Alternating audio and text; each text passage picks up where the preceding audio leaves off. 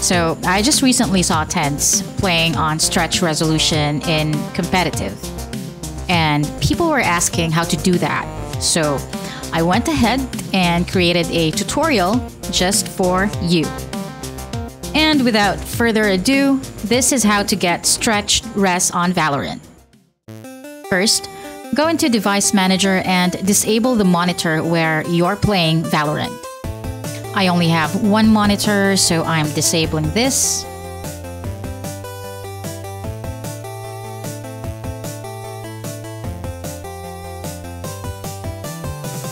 Next, right-click on your desktop and go into your NVIDIA's control panel.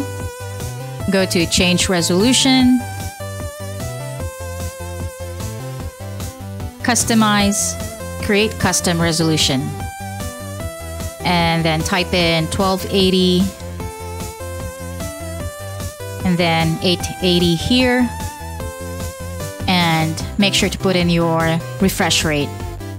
Mine's only 75, so I'm sticking with that. Click on yes.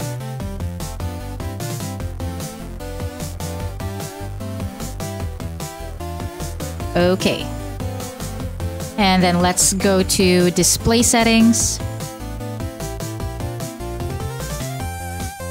Under display resolution, the custom res we created just a moment ago should now be here. Select that. Go into advanced display settings.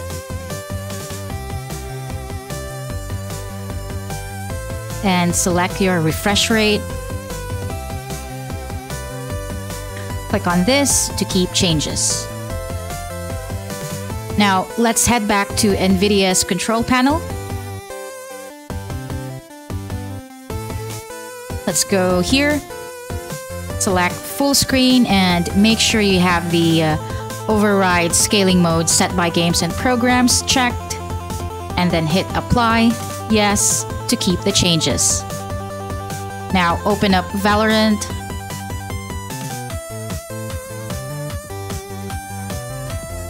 Let's go to the practice range so we can see what we have so far.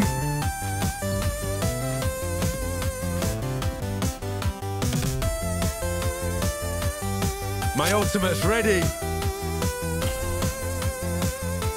Okay, to get rid of these black bars, you simply go into settings. Click on fill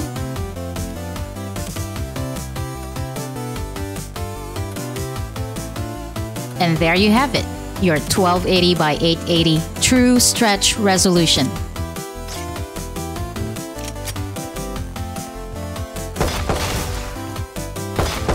Here's a before and after.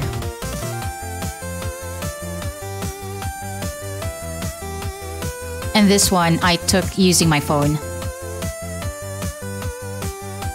If you want your enemies looking just a little bit wider, you can test other stretched resolutions that are closer to the 4:3 ratio compared to the 1280 by 880, left. which is much closer to the 16:9 ratio. Just check the video description below for the most popular ones. Okay, so go ahead, play a few games, and see how you like it. Don't worry, this will not get you banned because we did not change any of Riot's files. We only played around with our display settings. And as you saw earlier, even TenZ uses a stretch resolution in his ranked games regularly. I'll link that video below as well if you want to watch it. And if you got this far, thank you for watching. Hit like if this helped you, and subscribe if you want more Valorant tutorials like this.